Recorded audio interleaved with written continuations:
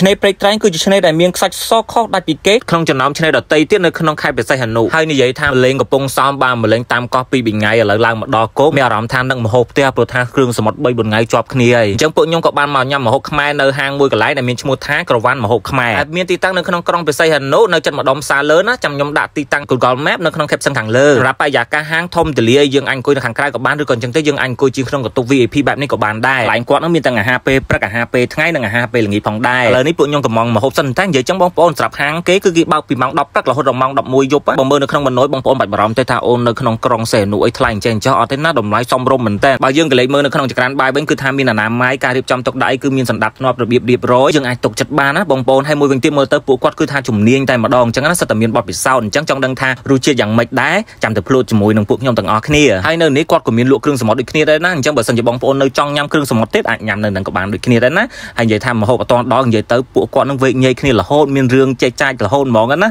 ឡូវនេះមហូបចាប់ដើមមកដល់បងប្អូនថ្ងៃនេះនិយាយទៅមហូបច្រើនមុខមែនតើសិតតែមហូបបែបខ្មែរយើងតែម្ដងណាត្រីប្រៃពងទាជៀនត្រីប្រមាហុកទីត្រីតាអូនជ្រក់ស្វាយនិយាយទៅច្រើនមុខបងប្អូនអញ្ចឹងងាយស្រួលពេលដែលបងប្អូនមកមានជំរឿច្រើនក្នុងការកម្មងអញ្ចឹងណាហើយឥឡូវនេះដល់ម៉ោងបាយថ្ងៃត្រង់ដល់ម៉ោងឃ្លានល្មមនេះមើលសាច់ស្តេកគេហាន់មកឡើងទំនងឡើងជុះស៊ីគួរឲ្យចង់ញ៉ាំតែម្ដងឥឡូវភ្លក់មើលមើលអឺ មើលតែមាត់ក៏ដឹងដែរបងប្អូនអើយអត់និយាយលេងណារសជាតិនៅកន្លែងនេះឆ្ងាញ់របស់គេឥឡូវកំតាន់នេះយើងទៅភ្លក់ម្ហូបទី2យើងភ្លក់ប្រហុកខ្ទិះម្ដងហើយដាក់បន្លែចេះមកដាក់ប្រហុកខ្ទិះដួសពីលើអញ្ចឹងមកនិយាយទៅខ្ញុំចូលចិត្តញ៉ាំរៀងច្រើនច្រើនដល់រៀងដិតដិតបងប្អូនអញ្ចឹងទៅបានដឹងថាវាឆ្ងាញ់ប៉ុណ្ណាហើយសម្រាប់ប្រូពីរអ្នកនេះគឺគាត់ប្រកែកក្នុងការភ្លក់រសជាតិនឹងតែម្ដងអញ្ចឹងទៅគាត់ថាអរគុណដែលបាននាំឲ្យគាត់មកញ៉ាំកន្លែងនេះនិយាយចេញពីមាត់តលរបស់ពួកគាត់តែម្ដងណាមួយពងតែនឹកម្ហូបអ្នកផ្ទះស្រាប់អញ្ចឹងពេលដែលយើងមកញ៉ាំត្រូវកន្លែងហើយឆ្ងាញ់អញ្ចឹងមកបងប្អូនអើយមានអារម្មណ៍ថាឆ្ងាញ់មានក្តីសុខពេញពេញហ្មងហើយបើនិយាយសឡមម្ជូរទ្របគ្រឿងក្នុងគេនេះវិញរសជាតិចេញមករៀងដិតហើយជូរអីជូរជ្រះល្អបដ ாய் សម្រាប់ត្រីជឿនជ្រក់ស្វាយនេះវិញគឺថាត្រូវមាត់ខ្ញុំមែនតើបាទជ្រក់គាត់នឹងធ្វើចេញមកឆ្ងាញ់ហើយនិយាយទៅរសជាតិដូចបងស្រីខ្ញុំធ្វើនៅផ្ទះអញ្ចឹងដល់ពេលអញ្ចឹងទៅមហូបឆ្ងាញ់ញ៉ាំទៅវាស្និទ្ធមាត់ដាក់ទៅខ្មុចខ្មុចហ្មងបងប្អូនអើយហើយនៅពេលដែលយើងញ៉ាំអាហារថ្ងៃត្រង់អញ្ចឹងហើយណាគេមានបង្អែមហ្វ្រីលៀងមាត់ទៀតនេះចំហួយស្លឹកតើយបាទម្នាក់មួយម្នាក់មួយតែមានណាសុំគេដល់2ចានព្រោះឆ្ងាញ់ពេកហើយបើសិនជាបងប្អូនចង់ញ៉ាំកាហ្វេញ៉ាំភេសជ្ជៈផ្សេងៗក៏មានដែរណាកន្លែងគាត់នេះមហូបឆ្ងាញ់អញ្ចឹងពេលដែលបងប្អូនបានមកលេងកំពង់សោមអីអាចចូលមកញ៉ាំកន្លែងនេះបានណាឥឡូវចេញពីនឹងទៅគឺយើងទៅកន្លែងគេដែលមានទីតាំងនៅចិត្តឆ្នេរមានឈ្មោះថា AS Hotel and Residence បាទឥឡូវពួកខ្ញុំបានមកដល់ឥឡូវចូល check in សិនហើយសម្រាប់ទីតាំងវិញបងប្អូនអាច search នៅក្នុង Google Map បានណាហើយសម្រាប់ប្រភេទបន្ទប់គេវិញមានប្រភេទក្រេ2និងក្រេ1ប៉ុន្តែលក្ខណៈដូចចូលមកដូចផ្ទះអាផាតមិនអញ្ចឹងណាបងប្អូនមានបន្ទប់ទួលភ្ញៀវមានកន្លែងអង្គុយញ៉ាំបាយអញ្ចឹងទៅមានកន្លែងចង្ក្រានបាយហើយនឹង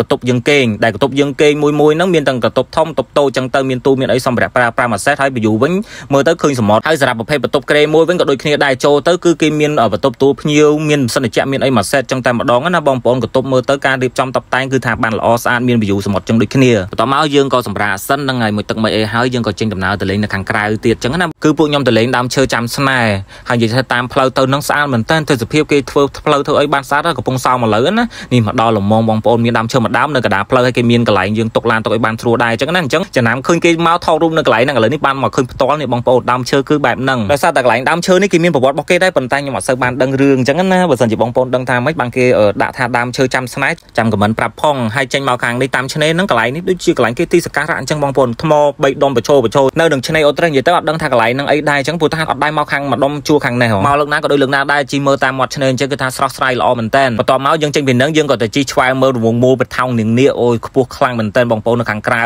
ពលរហូតទៅដល់21ម៉ែត្រនិងអង្កត់ផ្ចិតវិញគឺ99ម៉ែត្របើបានមកពេលល្ងាចវិញពេលថ្ងៃរៀបលេខគឺរត់តែស្អាតខ្លាំងតែម្ដងចេញពីហ្នឹងទៅគឺខ្ញុំទៅលេងឆ្នេរត្រេកត្រែងល្បីថានៅហ្នឹងខ្សាច់សនោះបងប្អូនឥឡូវយើងដាក់ឡានដែរហើយយ៉ាទ្រុសមួយមួយបាត់គឺខ្យល់ខ្លាំងមែនតើនៅទីនេះបងប្អូនទលាយតែម្ដងហើយមើលខ្សាច់ទេខ្សាច់ឡងសស្គូសមែនណានៅនេះដូចគេអត់ទាន់មានអភិវឌ្ឍអីច្រើនមានលក់អីពេញហ្នឹងទេបងប្អូនគឺថានៅខ្សាច់ធម្មជាតិពិតពិតតែម្ដងបាទហើយនៅនឹងឆ្នេរហ្នឹងឃើញមានរោងកញ្ចក់ខ្លះខ្លះដែរយើងអាចអង្គុយលេងនៅខាងក្នុងហ្នឹងបានណាហើយឃើញគេមានអ្នកលក់មឹកលក់អីខ្លះដែរបងប្អូន ឃើញមានក្មេងៗមានគេមកលេងជាគ្រួសារជាគ្រួសារដែរបាទអញ្ចឹងទេពេលដែលយើងមកលេងនៅកន្លែងនេះយើងអាចដាក់សម្ភារៈមកខ្លួនឯងក៏បានដូចជា